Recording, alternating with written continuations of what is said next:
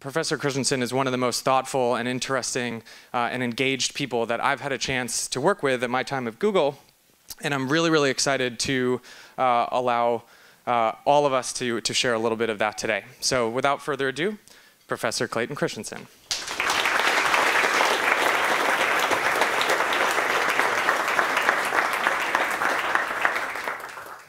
You're very kind, Matt. And I'm just uh, delighted that you guys would be it worth your while to come here and talk about some of the things that I want to propose. Um, what I there are kind of three main objectives in my talk. The first one is, my gosh, uh, Google is in a wonderful spot, and almost never in the history of mankind has anybody be seem to be so successful in much that, uh, that you're trying to do. And the reason why I worry about that is that success is very hard to sustain.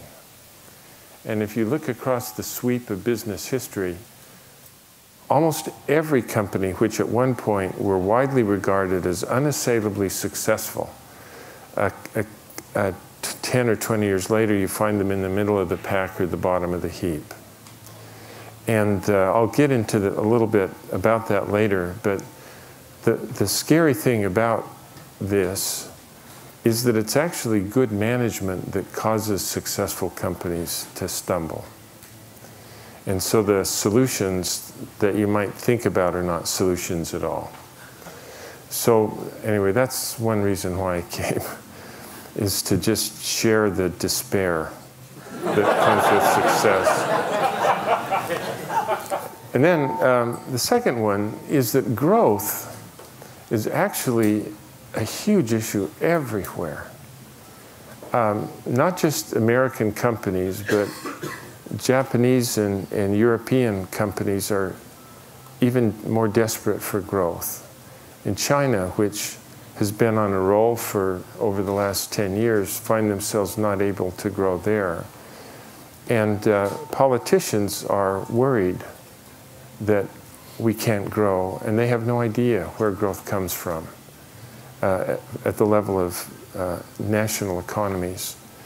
And if our nations are not prosperous, then companies find it hard to be prosperous. So that's what I want to talk about, uh, if that's all right. And what I'd like to offer to you, which is my the third objective today, is that I want to talk to you about theories about management. And the word theories gets a, rum, a bum rap with managers because the word theory is associated with the word theoretical, which connotes impractical. But a theory is a statement of causality. It's a statement of what causes what and why. And when you think about it in those terms, you as technologists or managers are voracious consumers of theory. Because every time you take an action, it's predicated upon a belief that if you do this, you'll get the result that you want. And every time you put a plan into place, it's predicated upon a set of theories, which tells you if you do these things, you'll be successful. But most of the people aren't even aware of the theories that they use. And many times the theories that you use are um, destructive rather than productive. Um, so this is that's why I have spent much of my academic life trying to understand theories about management. So there's not one grand theory of management that solves all problems of managers, but there really are uh, theories about different dimensions of a manager's job, um, which are quite helpful. And you'll see with some of those as I'll present them today. And it is as if if you came to my office, um, there would be a shelf there, and on that shelf will be a set of uh, theories about management. And some of them are, have emerged from my own research. And next to them are theories about management that other members of our faculty have offered. And there are a few slots on the shelf that aren't filled because there are really important theories about management for which nobody has provided a theory yet. So, for example, metrics and how you measure things is a huge deal, and yet there isn't a, a theory about metrics. So, but with these as a set of building blocks, if somebody can then come to us with a problem, rather than giving them my opinion about how to solve the problem, instead, what we're able to do is say, well, if that's the problem, you know, then we have a theory on the shelf called the theory of disruption. And I bet you that if we put that theory on like a set of lenses and examine this problem, we might uh, be able to understand what's going on. And so that's what I want to do is, is explain to you a set of problems for which good theories might help you. And I picked these ones because I think uh, you probably are facing similar problems. So, um, if you think about our economy much, you'd realize that occasionally we have a recession. And when our economy goes into a recession, we'll hit bottom at some point. And then there, it takes some time before companies have to start hiring people again. Um, because the people who are on board can satisfy the demand uh, of, the, of getting more orders for a while. And uh, we have had nine recessions since World War II.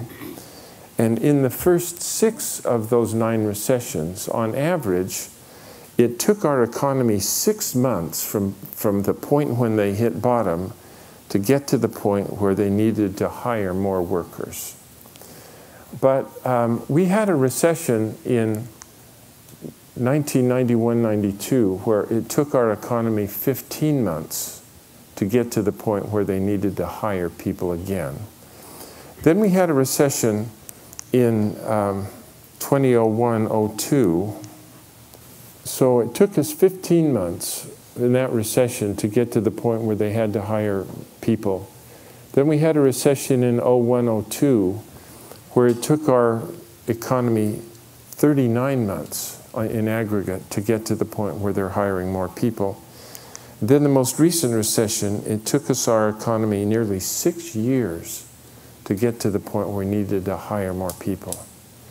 And what seems to be happening incre- increasingly is these rebounds appear to be financial, not real in character. So the people who have money get a lot of money a lot faster, but the rest of us, they don't, they're not jobs into which we can be slotted in anymore. And there's something fundamentally has gone wrong with our economy. And what we see in the economy is a summary of what's going on in most companies as well. So, I want to propose that there are four different types of innovations. And the reason why I'd like to focus on innovation is because whenever a company makes an investment, they invest in an innovation of one sort or another. And so, what I want to do is describe these four types of innovations and then teach a little bit more about whether and why and where they will create growth. There are potential products, meaning nobody's figured out what these are yet. Then the second one are sustaining innovations that make those products better. The third are disruptive products that grow markets. And then the fourth are efficiency innovations in which they sell them off in order to get their money back. So let me start with potential innovations. Um, almost any study about innovation will say that if you, of all of the people, of all of the products whose product development are initiated in a company, only about 15 to 25% of them will become financially successful. And it's broadly viewed that um, innovation is a crapshoot. The more projects you launch, the more success you'll be. But in, in its end, it's a crapshoot. And what we've concluded is that's not true. That the reason why it appears that we can't predict in advance whether a customer will buy the products that we're developing is that people at business schools like Harvard uh, teach mar marketing in a perverse way. And in particular, we've decided that understanding the customer is the wrong unit of analysis. So, to illustrate that, just look at me for a second if you wouldn't mind. My name is Clayton Christensen. I am 64 years old, unfortunately. I used to be six, six, six, six feet eight inches, unfortunately, and I now am six feet six inches, unfortunately. And uh, I married a wonderful wife, fortunately. we have five kids. The third of them, Michael, unfortunately came here to Stanford. And I have all kinds of other characteristics and attributes, as you can see. But none of my characteristics or attributes have not yet caused me to buy the New York Times today. There might be a correlation between the propensity that I will buy the New York Times, but my uh, characteristics don't cause me to buy it, nor do our characteristics and attributes cause us to do to buy any product or service. And yet, almost all of the work that we do in assessing market potential, we look at the characteristics or attributes of the potential customers. And a better way to think about we decided is that, um, darn it, every day stuff happens to us. Jobs arise in our life. And when we, these jobs arise, we need to find some way to get the jobs done. And some of the jobs are simple, incremental things that happen regularly. Others are dramatic and important breakthrough problems. But whenever we have a job to do, we have to find something and pull it into our lives in order to get the job done. And what we've decided is understanding the job is the critical key to develop products that we can predictably make and find the customers to buy. So, to illustration, to illustrate this point, um, a number of years ago, as this idea of the job to be done was emerging from our research, McDonald's was trying to decide how they could improve the sales of their milkshakes. And as some of you might know, McDonald's is a very sophisticated marketing company. And they have data out the gazoo about every dimension of, their, of what they're doing. And so when you go in on the, the, uh, the menu, behind that there is a profile, a, a demographic profile of the quintessential customer that likes to buy that product when they come. And so what they've done is they have these cohorts of people who are the quintessential milkshake customers, for example. And it turns out that I fit that profile perfectly. So they would take people like me into conference rooms and ask, you know, can you just help us how we can improve the milkshake so you'll buy more of them? the customers would provide very clear guidance about how to improve it. They would then improve the product on those dimensions, and it had no impact or sales whatsoever on the product. So, what we decided is that that's not the right way to frame it, but rather, there's got to be a job out there somewhere that people find themselves needing to get done for which they go to McDonald's to hire a milkshake. And we need to understand what the job is. So, one of our colleagues uh, stood in a restaurant one day for 18 hours and just took very careful notes on um, what time did they buy these milkshakes, What was he wearing? Was he alone or with other people? Did he buy anything else or just the milkshake? Did they eat it in the restaurant or get in the car and go off with it? And it turned out that about 50% of the customers bought the milkshake before 8:30 in the morning. It was the only thing they bought. They were always alone, and they always got in the car and, and drove off with it. So um, we decided we need to understand what was this job, you know? So we came back the next day and we positioned ourselves outside the, the restaurant so that we could confront these people as they were emerging with their milkshake. and in language that they could understand, we'd ask them, I got a problem with your behavior here. what job were you trying to do that caused you to come here to hire this milkshake? And as they would struggle to answer, we'd, ask, we'd try to help them by asking, well, look, think about the last time you were in the same situation, needing to get the same job done, but you didn't come here to hire a milkshake. What did you hire to do the job? And it turned out that they all had the same job to do, and that is they had a long and boring drive to work. And gosh, one hand had to be on the wheel, but somebody gave me another hand and there isn't anything in it to drive with. and I just need to do something with my, you know, while I'm driving. And I, I'm not hungry yet, but I know that I'll be hungry by 10 o'clock, so I also need something that will just go thunk and stay there till 10 o'clock. So, what, what, when I have this problem to do, what else do I hire? And one guy said, You know, I never thought of it in these terms, but last Friday I hired a banana to do the job.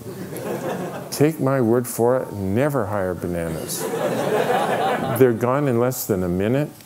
I'm hungry by 7:30. Another guy said, "You promise not to tell my wife, please." But I don't I hire donuts a lot to get this job done. But they actually don't do the job well. You know, I promised my wife that I'm going to lose money, but I, I add it and they cream they cream crumbs all over my clothes and my fingers get gooey and I put that on the wheel. And another guy said, "Yeah, I do bagels sometimes, but geez, the bagels are so dry and tasteless.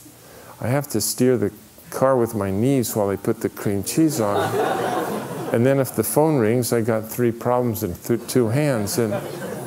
You know, one guy said I hired a Snickers bar to do the job, but I felt so guilty I've never hired Snickers again. but let me tell you, whenever I have this job and I come here to hire McDonald's, uh, McDonald's milkshakes, it is so viscous. It takes me 23 minutes to suck it up that thin little straw. Who knows what the ingredients are? I don't care. All I know is it's in my stomach all morning and it fits right in my cup holder. And it turns out that the, the, the milkshake does the job better than any of the competitors. And the competitors are not Burger King milkshakes, but it's bananas and donuts and bagels and Snickers bars and coffee and a few other things. And then it turned out that in the afternoon it was hired for a very different job. And that is somebody is a parent, just have needs to have a sweet, uh, uncluttered time to talk about whatever is on the, the mind of their child. And they hire the milkshake to do this job, and it does that job very well. But it's a very different job than what the morning job is. And it turns out that this is not unusual. That almost always, Peter Drucker said that the customer rarely buys what the company thinks it's selling them. And that's why I, want, I said at the beginning that understanding the job is what's critical in developing successful products. The customer is the wrong unit of analysis because the customer finds herself in different, needing to have different jobs to be done over the course of a day or a week or a month. Um, so there's a job out there somewhere near here that needs to get done. And people find themselves needing to get this jobs, job done in different frequencies. And that is, I need to get this from here to there as fast as possible with perfect certainty. How many of you have found that you needed to get this job done in the last year? Almost everybody. Uh, it turns out that Julius Caesar had this job to do. But when uh, he had the job, he could hire a horseman and a chariot to get the job done. Queen Victoria had the very same job to do, but she could hire the telegraph and a railroad to get the job done. And Julius or uh, Winston Churchill could hire a airplane to get it done. And now our leaders can hire DHL. But the job itself has been fundamentally unchanged over these centuries. And that's a characteristic of most jobs, that they are very stable over time. But the technology that we could hire to get the job done changes in, in, uh, at a scaring rate in some times. And so if we think of the business that we're in as I'm in the business of DHL and I compete against um, uh, FedEx, uh, my, my life is very um, unpredictable. But if I think of the job to be done as the core business, then life is very stable. And it, it makes it a lot easier for us to predict what will be the next technology. Let me just describe. I'm sorry, I, I, need to tell you a couple things about myself. I'm st stumbling around because I, I've had a couple of rounds of chemotherapy for cancers that I've had, and one of the, the side effects is that I can't feel my feet. So, um, and then, so that I, when I'm looking at you, I don't know if my feet are over there or here. And then I had a stroke. Um, a clot came from somewhere and lodged itself right there in my brain. And it formulated the portion of my speech where I, the place where we formulate. It killed the portion of my brain where you formulate speech. This happened about four years ago. And just like that, I lost my ability to speak. And I've been trying to learn how to speak again. Uh, and there's a program called Rosetta Stone for English. Turns out it was very good. um, but you see in my language, um, sometimes I'm struggling to come up with the word, and that's because I, I lost it. And I'm learning how to speak from the other side of my brain. And I notice that I notice that I'm uh, speaking to the floor a lot. And the reason why is if I look at the floor, I can focus on what the next sentence has to be, and if I look at you, you distract me. so it's not that I have become shy all of a sudden, but I just kind of, so I apologize for that. Anyway, um, there is an architecture to every job to be done. So the fundamental, the foundation is there's a job that I need to know given the situation that I'm in. And that's an important reason why understanding the customer is the wrong unit of analysis, because the, the situation that I'm in has a huge impact on the nature of the job. And every job has a functional, an emotional, and a social dimension to the job. And the mix of those four, three depends upon the application or the situation they're in.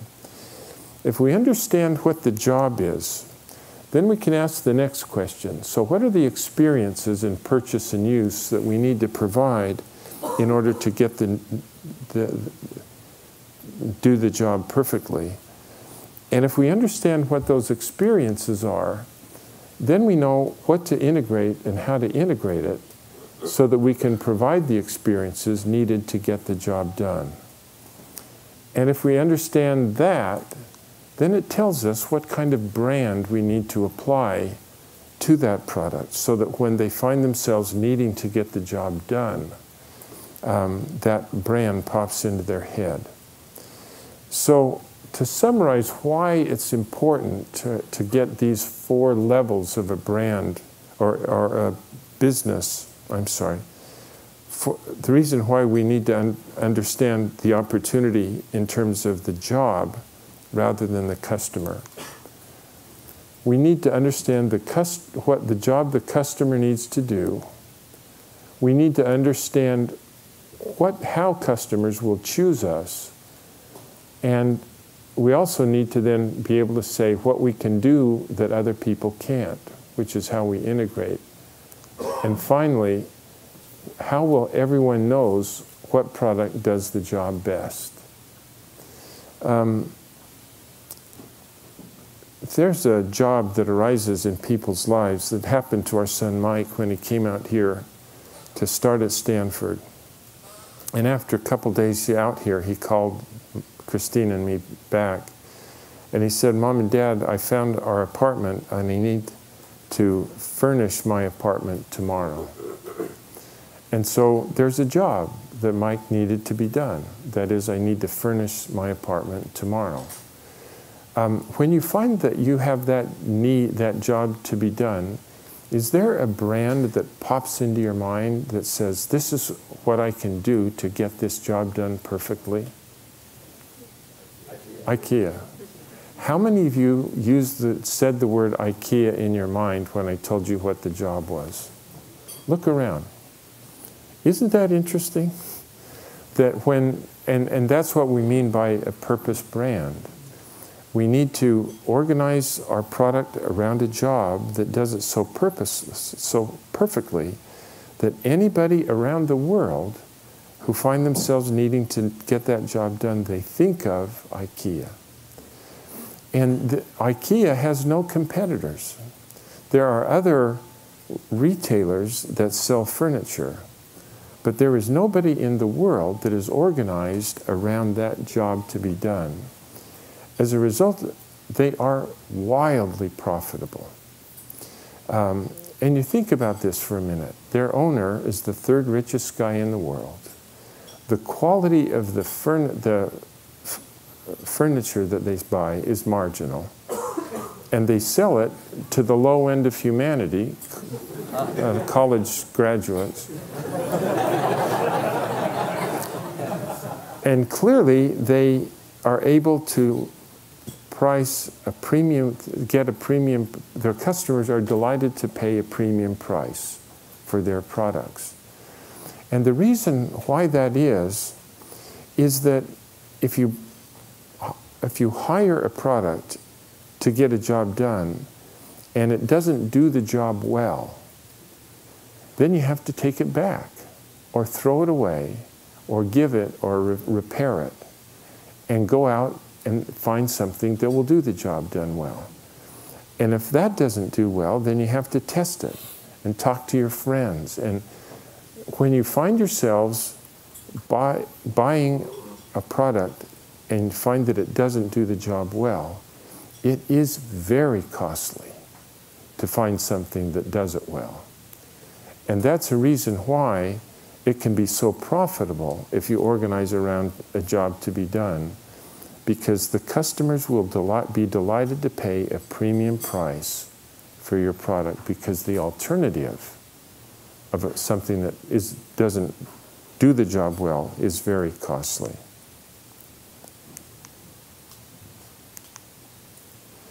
Now, so that's the first type of innovation, and we call them potential products because they're, they're, we don't know their potential unless we understand the job to be done. The second type of innovation we call sustaining products that make good products better. And so the day after we launch into a, a new product where you've figured out there's a job to be done, we have a product to, to do the job well. Immediately we, we start improving those products and we call those products sustaining innovations. And they're important. When we look around the world as we walk around, almost all of the innovations that we see are sustaining products. Um, they help companies keep their margins healthy. They are the mechanism for gaining market share. And those of you who are working on ad, AdWords and other of your products are engaged in sustaining innovations. They're critical. But because they replace older products with new ones, they don't create growth. So imagine that I'm working for Toyota and I convince you to buy the Prius, the hybrid car, then you won't be buying a, a Camry. Um, if I sell you this year's best product, you won't buy last year's best product. And so, by their very nature, sustaining innovations, although they are important, are replacative in character. And most of what we think about as innovation are of this sort. So that's the second type of innovations. The third type of innovation we call disruption, and they create growth. So let me describe, and this is going to be a complicated slide before we're done, so I apologize in advance. But you'll see these three concentric circles, and what they're made to represent is actually you can describe the history of any company in terms of these three uh, circles. The innermost circle represents the customers who have the most money and the best access to a product or service. And then as you go to the larger circles, they represent larger populations of people who have progressively less money. Almost always, industries begin in the center because the first products and services are so costly and complicated that only people who have a lot of that are able to buy it and use it. So, given that, I want to then describe what disruption is and why it creates growth. So, I'll put on the vertical axis the performance of product or, or services over time. In every market, there are two trajectories. The first one is in every market, there's a trajectory of improvement that innovating companies provide as they keep introducing that. I'm sorry. In every market, there's a trajectory of improvement that customers are able to utilize in their lives. And uh, we don't think about this very much, but our lives don't change a lot. And that's why this is, is, is so uh, flat then in every market, there's a different trajectory of improvement that innovating companies provide as they keep introducing better and better products. The most important finding about this is this trajectory of technological progress almost always outstrips the ability of customers to use the product.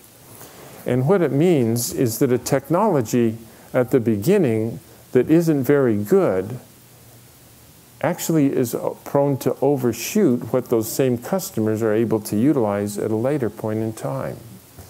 And there's not much gray hair in the room.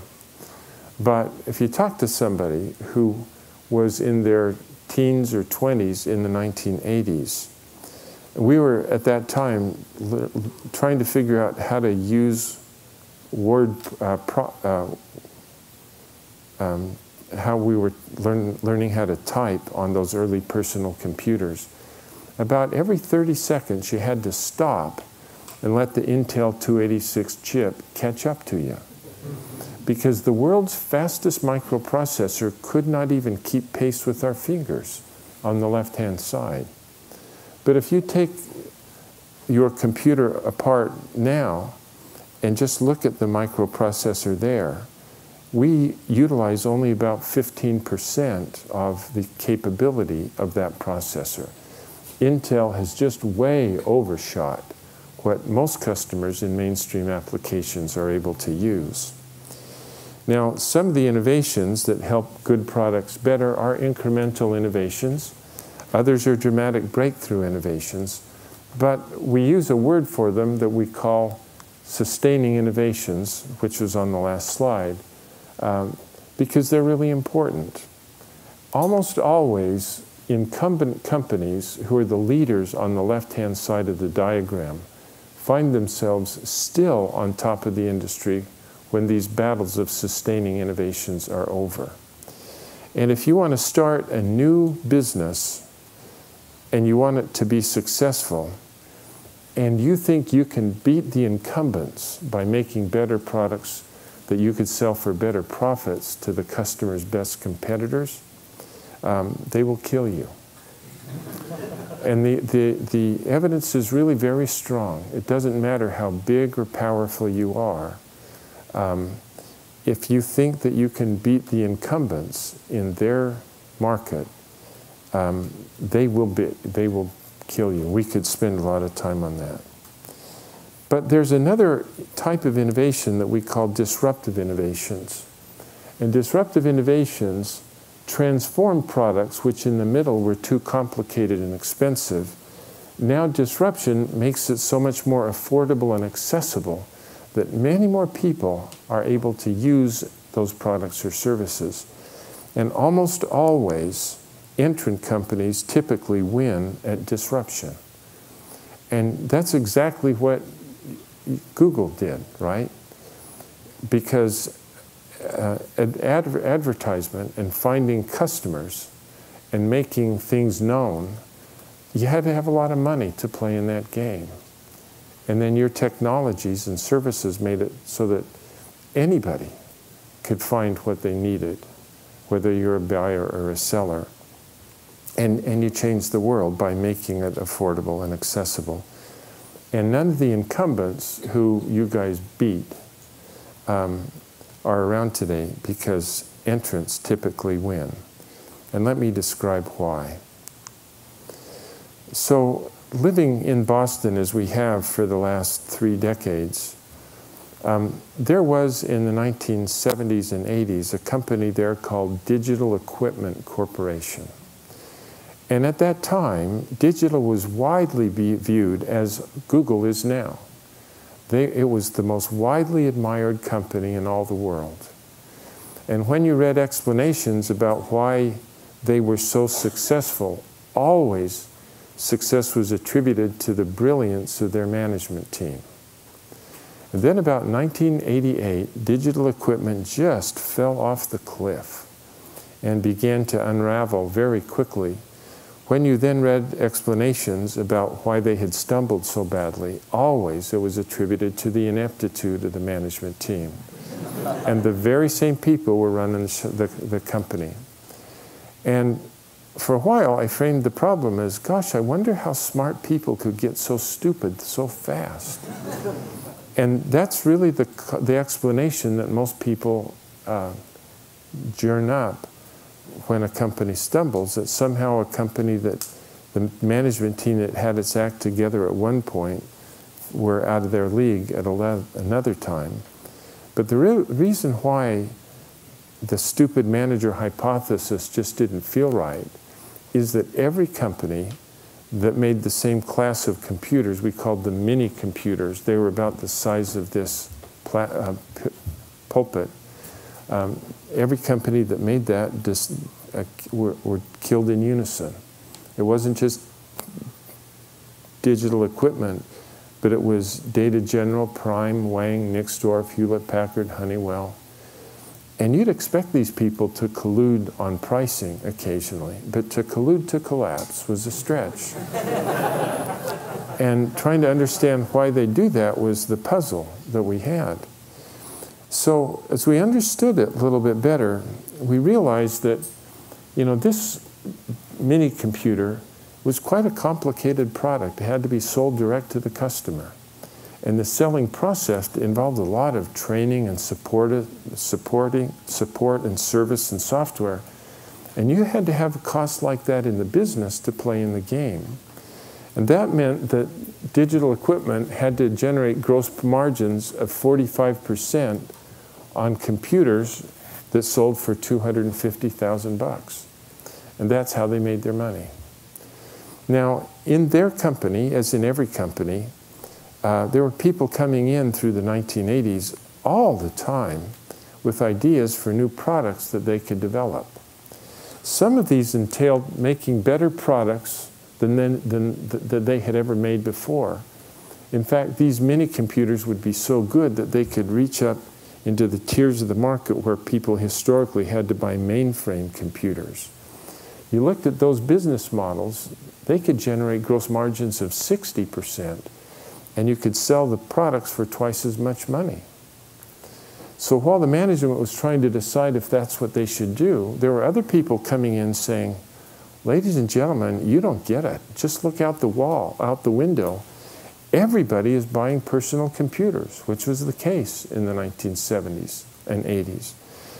But when management would look out, in fact, they could see that everybody was buying mini com mainframe computer. They could see that everybody was making personal computers. But there are a couple of other things that bothered them a lot. The first one do you remember how crummy those early personal computers were? Apple ap sold the Apple II as a toy to children. Not a single one of Digital's customers could even use a personal computer for the first 10 years that they were in the management. And then when they, and they got no signal from their customers that the personal computer mattered because in fact it didn't to them.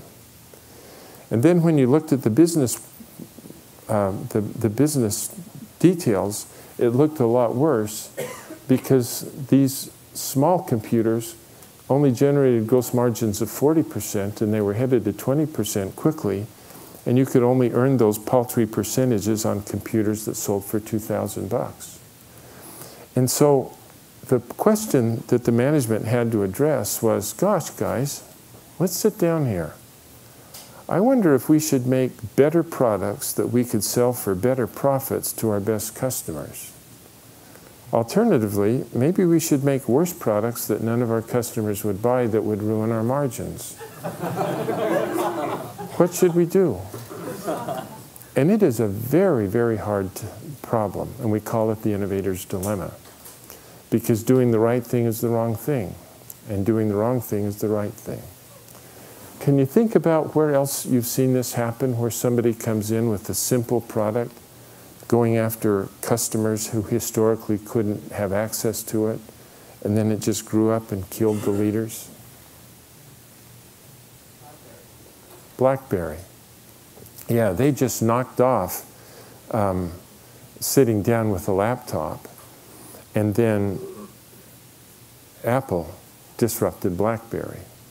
And now um, Samsung and Huawei are in the process of disrupting Apple.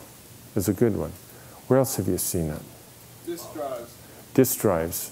The big ones get disrupted by the little ones, and then the smart, the uh, flash disrupted disk drives. And almost all of them are out of business now. That's a good example. Um, you guys look like you get you are uh, you make a lot of money. and I saw Lexuses outside left and right in the parking lot. But that's not how Toyota entered America with Lexuses. Toyota came in with a rusty little subcompact in the 1960s called the Corona.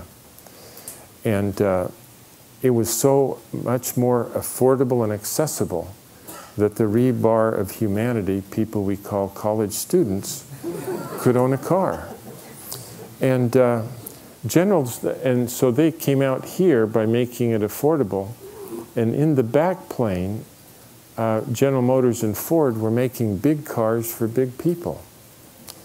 And people would see Toyota coming in, and Toyota went from a Corona to a Tercel, Corolla, Camry, Avalon, 4Runner, Sequoia, and then the Lexus. And as Toyota would come, were coming up there, going after new customers, um, they'd say, you know, we ought to go get those buggers. And so they design a Pinto or a Chevette and try to sell uh, subcompacts into the marketplace. But then their finance people would look at the money that they could make in subcompacts with the profitability that they could make making bigger SUP, SUVs and bigger pickup trucks to even bigger people. It absolutely made no sense to defend the low end of the business when they had the opportunity to make good products better. Uh, who's killing Toyota? They don't feel like they're getting killed, incidentally. Yeah, the Koreans. are just killing them at the low end. And, uh, and Toyota's doing the right thing because why would they ever try to defend the low end of their business when they have the privilege of competing against Mercedes at the high end? And then the Chinese manufacturers are coming next. And we seriously don't need to worry about them.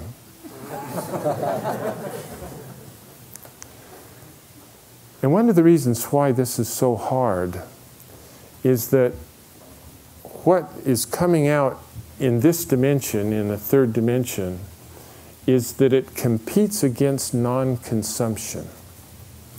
Um, because the products are so costly and expensive that behind them there are no customers. They are potential customers, but if you make it affordable and accessible. And so, looking at their world, it looks as if they're doing just fine. And it's, it's why almost always you have to have a new company with new people who are looking in the other direction because you're competing against non consumption by making it affordable and accessible. And that's why growth comes in this dimension. And what almost always we find. so I guess, um, you know, do you have uh, examples of companies that have successfully taken advantage of the, this this notion of disruption, where they themselves, yeah, yeah, within their own company, that disruption to take place? Yeah, it's a great question. It turns out that there really are a few who have done that, where they were the leaders, um, and then they became the leader in the new wave without getting killed in the old one. Um, but only a few.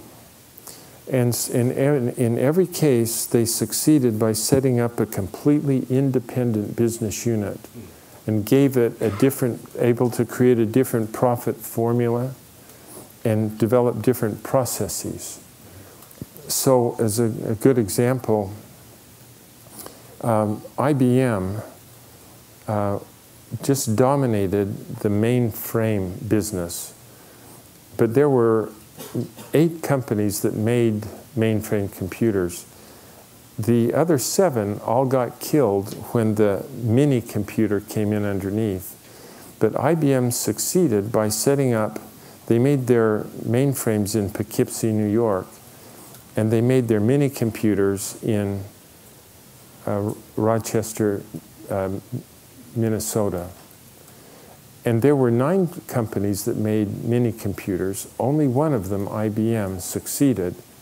And they did it by setting up a different business unit in Florida and allowed them, made them figure out how to make products at 25% gross margins instead of 40% or 60%.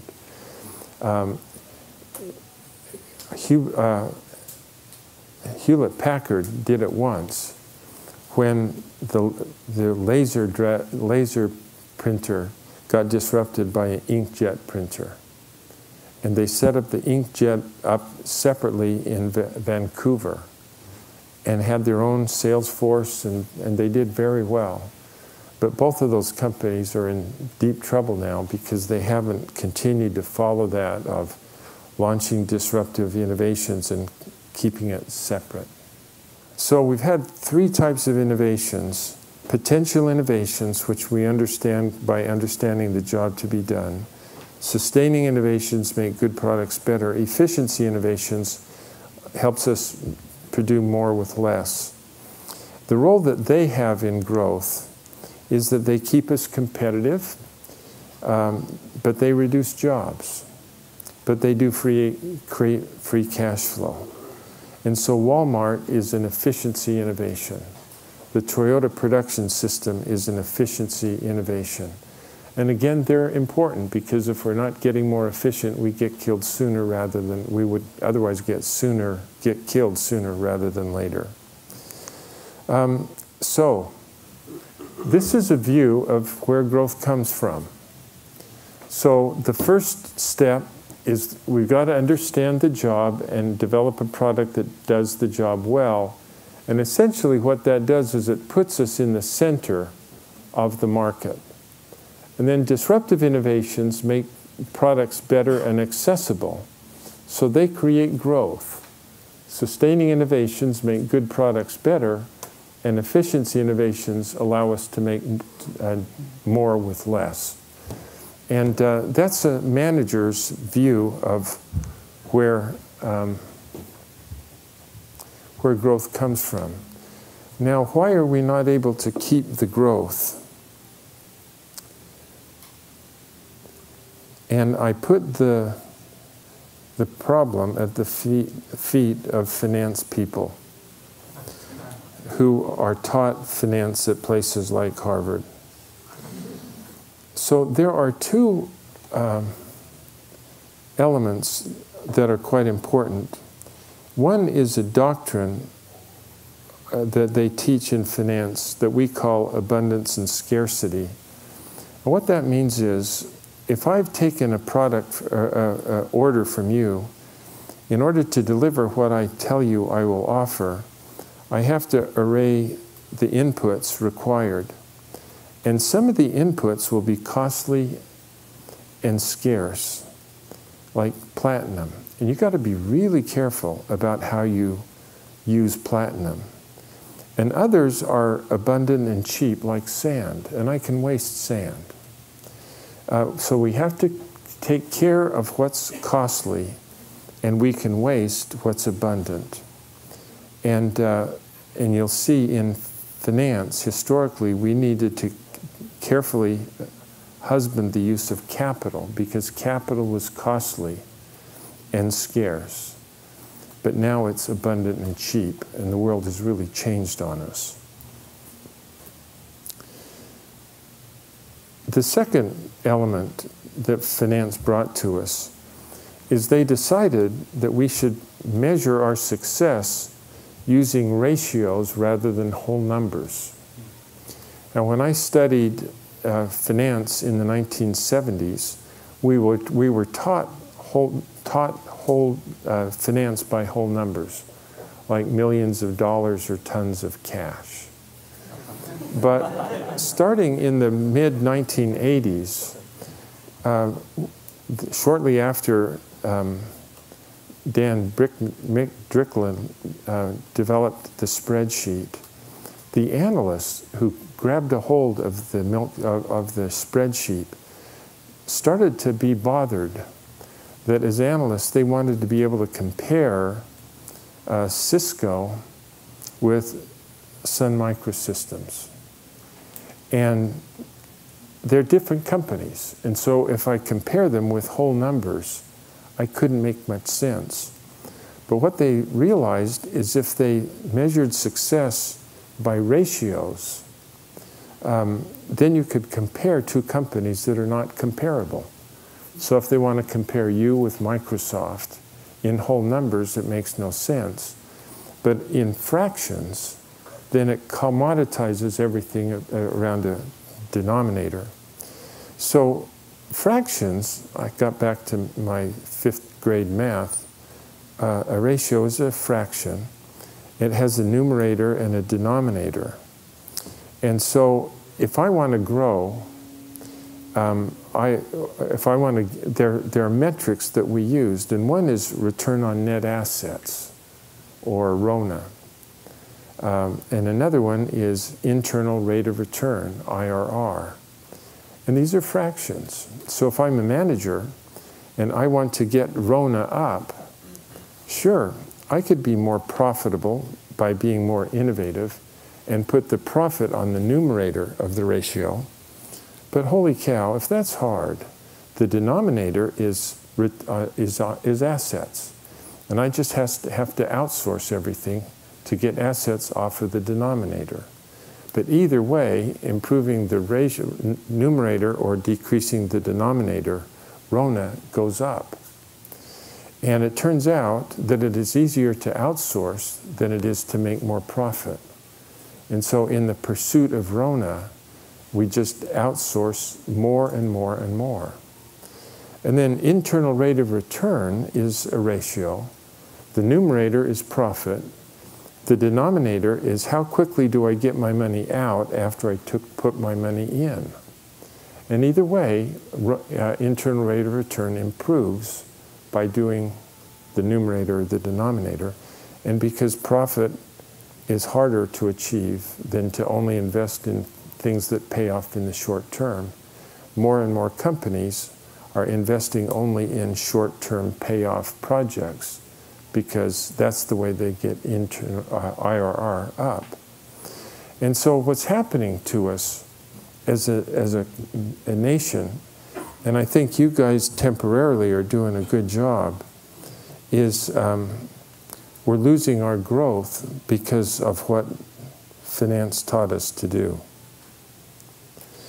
So just imagine that I'm um, making a really good job at efficiency innovations, and that uh, creates free cash flow. And we have so much cash that we have to ask analysts to tell us where we should put our money. So the analysts will look at that disruptive uh, history, they say, you know, we ought to use our money to create disruptive companies. But the problem is, if we invest in disruptive companies, they pay off in five to 10 years, and so internal rate of return will tank. And if, and if we start to create disruptive companies, we'll have to put assets back onto their balance sheet. On the other hand, if we use our money to do another round of efficiency innovations, they pay off in six months to three years. There's no risk, the market is there. It creates free cash flow. So, if you wouldn't mind just this once, what I'd like to do is use our money to do another round of efficiency innovations. And I do that and the problem is we have more free cash flow. And we've got to figure out what do we do with all of this stuff. So can we the, look at the analyst and say, just take another deeper look at disruptive innovations? And so he does. And he said the problems are just the same. If we pay, if we invest to create disruptive products, they pay off in five to ten years and RONA's uh, IRR is going to go down. And Rona goes down because it needs assets. So if you wouldn't mind, I'd like to just use our money just one more time to do a, another round of efficiency innovations. And the problem is it creates more capital. What, are we going to do with all this capital? My gosh. And so I'll just do it again and again and again. And, uh, and that's what's happened in our economies in Japan and Europe and increasingly in North America is because we have chosen to measure success with these ratios. Um, our, uh, our analysts grab that free cash flow and use it to create more free cash flow. And if you want to know what's going to happen to America, just look at Japan. Because in the 19 50s, or I'm sorry, 60s, 70s, and most of the 80s, Japan's economy was growing at unprecedented rates. And the reason why they were growing was because they had companies in that economy that kept investing in disruptive innovations. So Toyota made cars affordable for mankind. Honda made motorcycles affordable for mankind. Sony made a smart, the, a 10 transistor uh, pocket radio that allowed teenagers to listen to rock and roll. And the reason why you guys have printers in your offices and your homes is that Canon disrupted Xerox. But because they made things affordable and accessible, billions of people around the world were able to own and use things that historically had been beyond their reach. And that forced these companies to make more products. And that meant that they had to hire more people to make them and distribute them and sell them and service them. And for 30 years, they had no uh, economic recessions.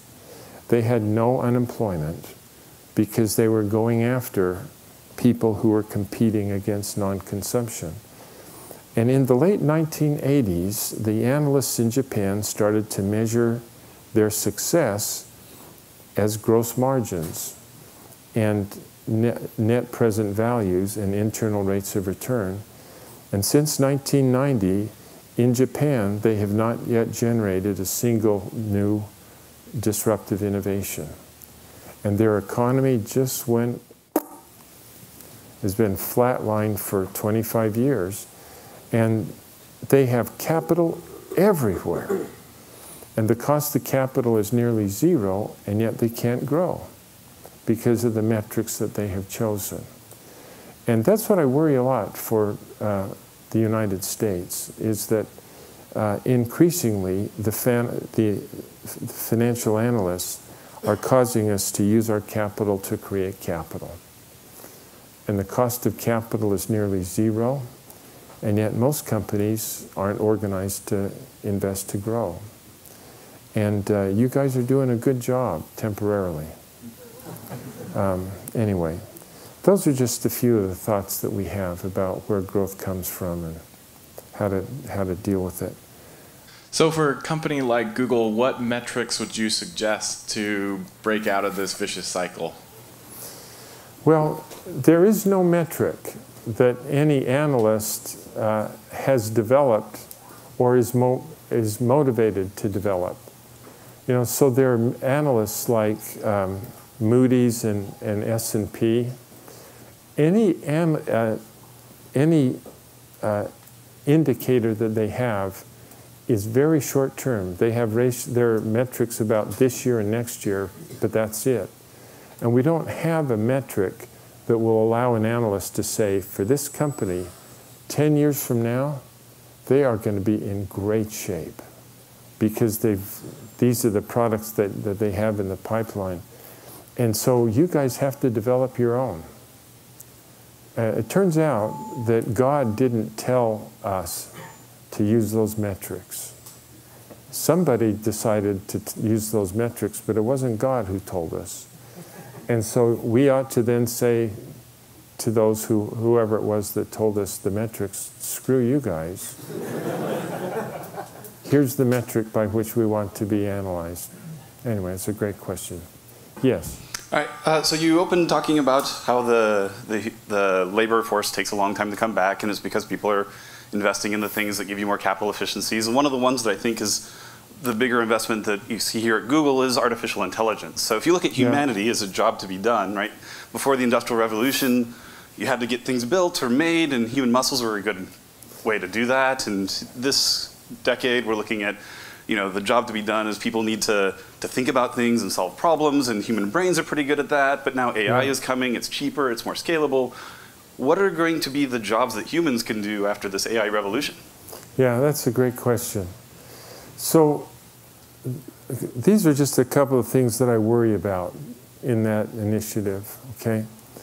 So, we might think, um, by, by analogy, um, a driverless car um, is a technology is a complicated problem. If we are targeting the um, the California freeway is the ap application for a wire wireless, a driverless car, that is a very complicated uh, application. There are all kinds of legal issues that are just, you know, and the technology needs to be pretty sophisticated and maybe that'll happen maybe it won't but we don't we, we don't think about the if we change this what are all of the other things that need to change in order to enable ours this technology to develop and so our theory says that where you ought to look is on a farm and john deere has wireless tractors going up and down, and the application is very simple. And almost always, uh, when you try to make it affordable and accessible, you start with very simple applications and then little by little do that on. But competing with non consumption is really critical. And so AI what I worry about is although we think that it will make us be able to uh, be better thinkers at lower cost, I worry that the applications of these are actually quite complicated. And that we don't think about what are all of the other things that have to occur in order to, for all our piece to make it. And, and so it, it could be a big thing, but I bet that in the process we'll realize that we should go after simple applications. And that typically forces us to hire more people. But it's, it's a good one, because whether you call it an efficiency innovation or a disruptive innovation makes a big difference as to, as to the outcome. Thanks. I just want to say thanks for coming. Uh, reading your book is actually one of the reasons I did my MBA and ended up here. So it had a pretty oh, tangible effect on my life. But oh, um, kind. So I wanted to, I want to see if you could help clarify the way that we talk about disruption in regard to the technology itself. Yes. And we have a couple of technologies at Google that could be considered that we that are often called disruptive technologies. Um, you know, artificial intelligence, machine learning, which is in, very much being built internally to the organization. It's helping improve what we do as a company and can uh -huh. be seen as a sustaining innovation. Um, and then we have, you know, autonomous cars, which are sort of being treated, you know, built at X, external, much more in line with the disruptive mm -hmm. model. So is it the technology that's a disruption, or is it the application of the technology? Is it the market effect that makes it disruptive? That's a what great, is, what is the disruptive? Yeah, that's a great question. It's actually really important um, for you to say what you just said. Because in many ways, I made a mistake calling the phenomena disruptive, disruptive, because there's so many connotations of the word disruptive in the English language. And so there are a lot of people who call anything that is a dramatic improvement or a, a, a breakthrough, we call it disruptive, and that's not true. So almost always disruption is built within the business model of the technology, of, of the enterprise, not by developing the best technology. Typically, you can take a technology and deploy it onto the California freeway or on a, for, a cornfield in Iowa. And how you deploy it determines its disruptiveness. And that's really an important one to do. And people say that I'm a Jewish mother of business in that I'm always worried about everything.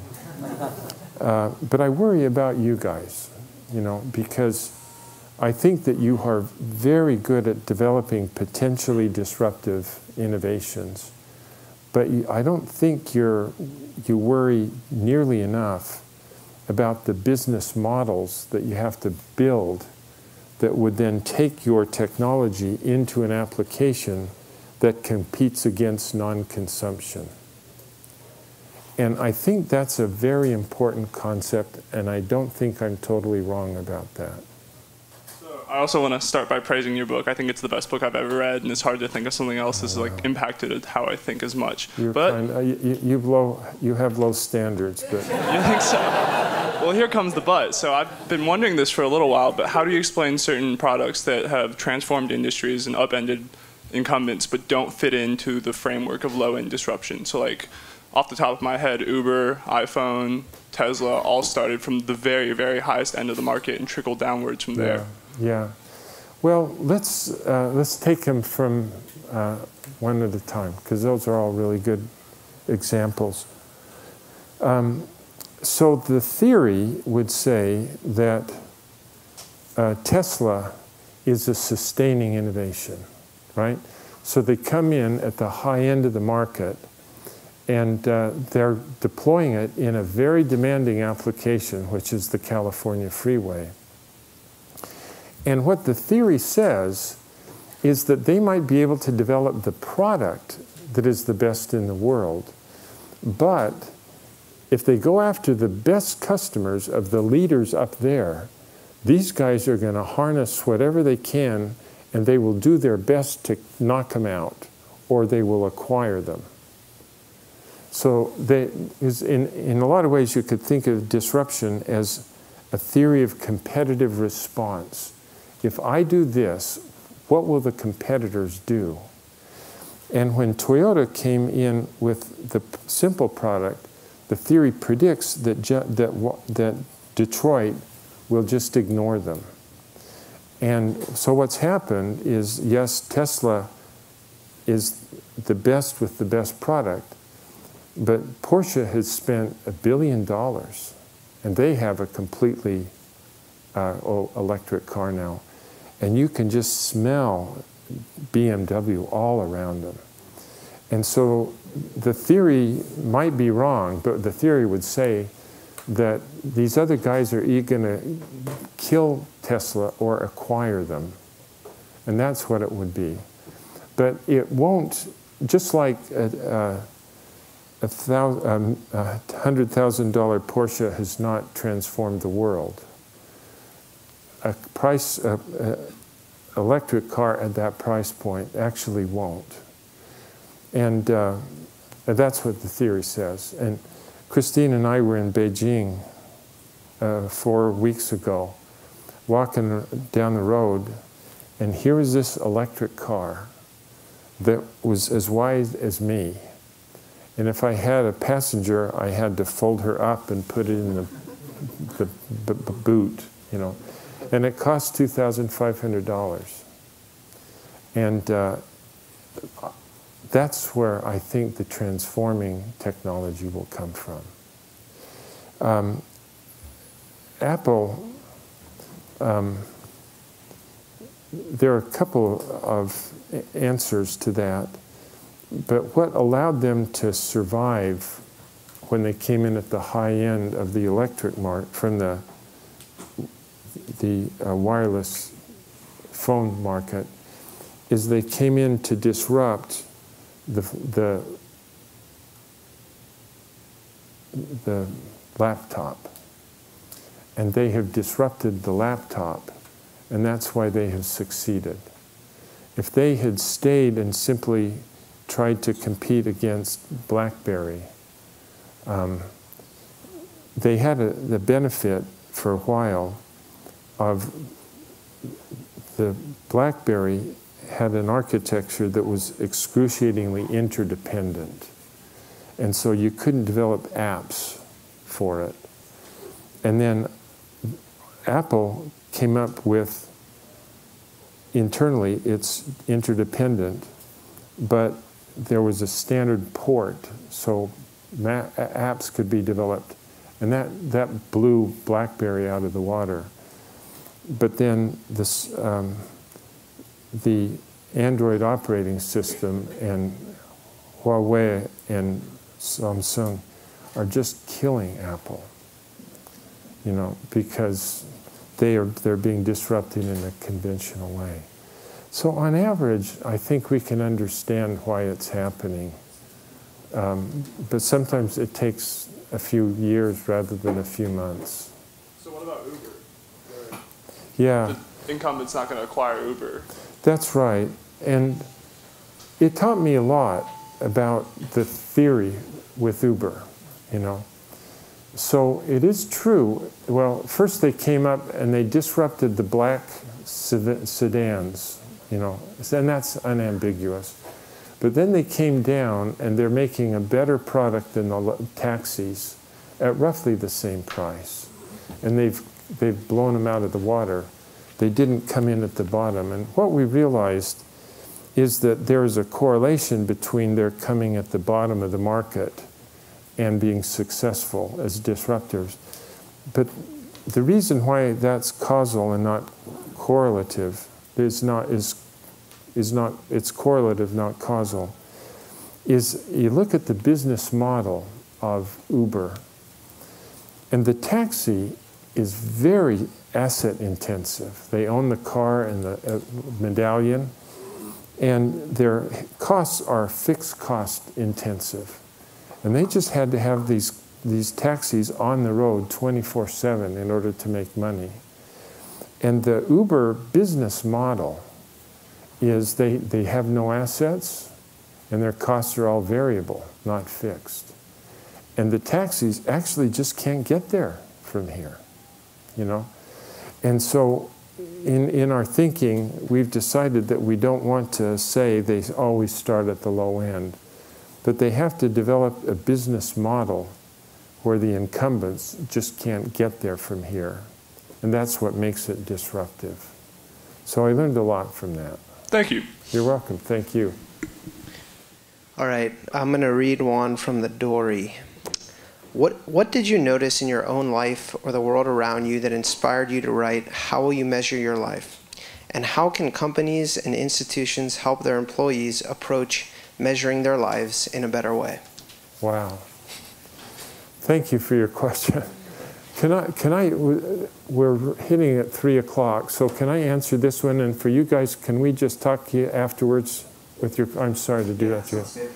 So, um, why we wrote this book about how you measure your life is just I described here how the metrics that they were using caused them to spend their time and energy in developing. Uh, they, they did not intend to do what they actually did.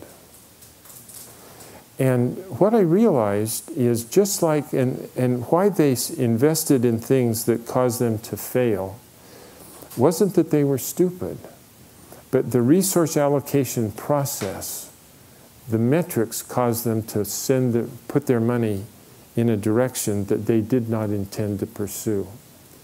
So, anyway, um, where I work at the Harvard Business School, the um, the core competence of the Harvard Business School is we are really good at soaking our alumni for donations. and so every five years, we invite all of our alumni to come back and we remember them to please bring their wallets. Um, and we're really good at this. Um, so, because Christine and I have lived in Boston ever since I graduated, we've gone to all of these 5, 10, 15 re year reunions. And I remember when we came back uh, for our fifth reunion, oh my gosh. Most of my friends had married people who were much better looking than my friends were. They had kids that were well behaved and their jobs were going well and just everything that we imagined would be true was, was unfolding as we thought. But then I noticed for the 10th reunion, gosh, a lot of people who I was looking forward to seeing didn't show up. And when I asked common friends, where is so and so, more often than I ever imagined, the answer was that he's in the middle of an awful divorce. And he just doesn't want to talk about it. And uh, for the 15th reunion, there were even fewer people. And when I'd ask about them, more often it was not is he's in an awful divorce or their spouse remarried and now they're raising their children on the other side of the country. And they just don't want to talk to anybody about why life had turned out the wrong way you know? And then by the 20th and the 25th reunions it was really scary. And and it was the same problem I can tell you with perfect certainty that not a single one of my classmates, when we graduated from Harvard, planned to go out and raise children who hate their guts and get divorced one or two or three times. Our intention was to create homes where there was happiness there. And was a source of happiness for the rest of our lives. But that was what we intend to do, and how we spent our time and energy was just the opposite of that. And the reason why is the very same thing is the metrics. So, those of us who are driven to achievement, that includes at least 100% of us, when we have that need for achievement, then when we have an extra 30 minutes of time or ounce of energy, we instinctively spend our time and energy on whatever activities will give us the most immediate and tangible evidence of achievement. And our careers provide that. So, um, every day at work, I ship a product, I finish a project, I get promoted, I get paid, we close another deal, and every day I get immediate and tangible evidence of achievement at work. And then when I walk into the front door, there's not a lot of evidence of achievement when you look at your kids. On a day to day basis, they mi- misbehave every day, the place gets cl- uh, cluttered every day. And it really is not until 20 years down the road when you're able to look your kids and put your hands on your hips and say, My gosh, we created a wonderful young man or woman. But on the day to day basis, there's no evidence of that. And uh, as a result of that, we in- invest our time and energy in our careers and underinvest in our children and our spouses, even though we plan to have that be the source of energy. And so that's why I decided I would write that book, How We Measure Your Life. Anyway.